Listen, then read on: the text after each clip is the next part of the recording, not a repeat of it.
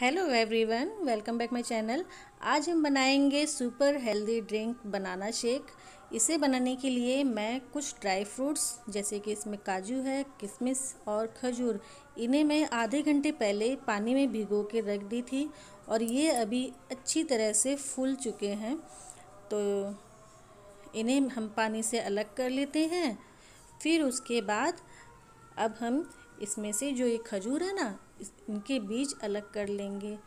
तो इस तरह से इस ड्रिंक को जब हम बनाएँगे ना तो ये सुपर हेल्दी ड्रिंक होगा और ये बच्चों को बहुत पसंद आएगा।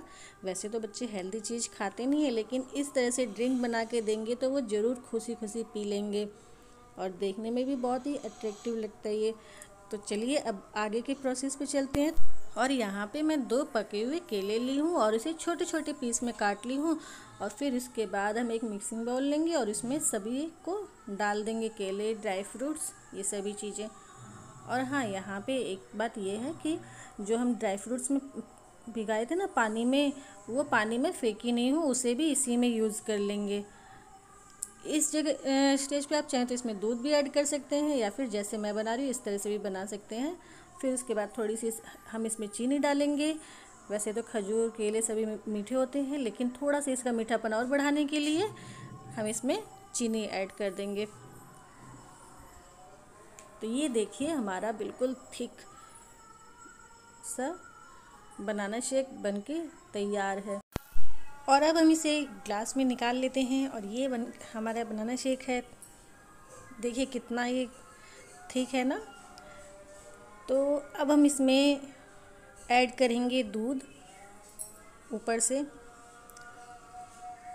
तो इस तरह से दूध ऐड करने से क्या है कि नीचे का कलर अलग और ऊपर से जो दूध का कलर है वो अलग। ये देखने में अच्छा लगता है और बच्चों को भी बहुत अच्छा लगता है ये दो कलर का। तो बस इसीलिए मैं पहले से दूध इसमें ऐड नहीं की थी। और फिर उसके बाद हम इसमें थोड़े से डालेंगे आइस क्यूब। और ये पड़ गया इसमें आइस क्यूब इस पर डाल दे रहे हैं चॉकलेट ये चॉकलेट को मैं बिल्कुल बारीक बारीक कर ली हूँ और ऊपर से इसको हम डाल दिए।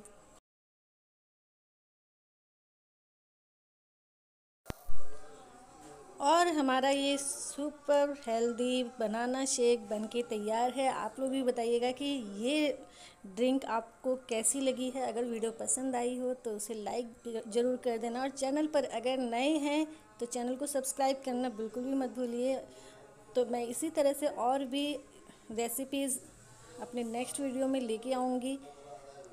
Bye bye